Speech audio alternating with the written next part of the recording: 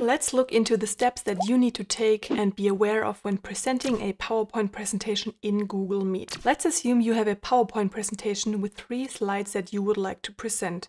Therefore, you first need to join a Google Meet invite.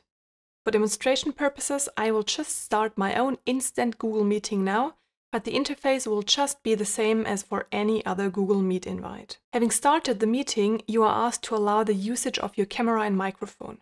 In my case, I do not have a camera or microphone connected or maybe denied the usage earlier, why this error occurs. However, for you and within a real meeting, I recommend allowing both connections since most likely you will need at least your microphone when presenting a PowerPoint presentation later. So just click allow. Having entered the meeting, your screen will look like this. So to share your screen, you can click on the share button at the very bottom of the screen, which says present now. Clicking on the button, you can choose which format you want to present. Since you only want to share a PowerPoint presentation, you should not share your entire screen, nor a tab of your browser. So just click on a window. Next, you will be able to select the window you want to share from all the windows you have currently open. To share a PowerPoint presentation, click on the one you would like to share and click Share. Having clicked on Share, you will jump back to the presentation you are sharing. So let me again open the Google Meet invite in the browser on top. Now you can see the shared PowerPoint in the background and the Google Meet session with the shared screen that everybody else can see in the foreground.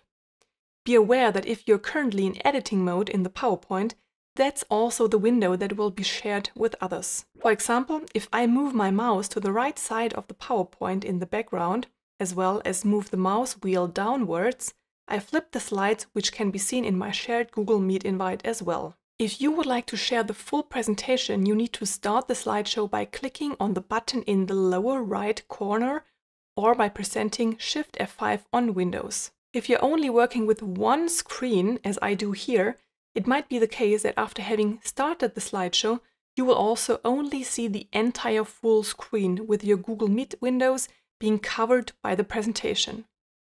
To move the Google Meet again to the foreground, you need to push Alt and Tab for Windows to see all your currently open windows.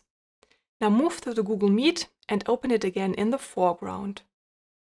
In the background, you might still see your full screen presentation just as everyone else in the Google Meet. To switch slides, you can again hover with your mouse over to your presentation in the background and scroll with your mouse wheel. As you can see, I'm moving from slide 1 to 2 and finally to 3. To end the presentation, you can either scroll until the very end of the presentation, such that it will go back to edit mode after the last slide as can be seen here. Or you can move back to the presentation with Alt and Tab and press Escape.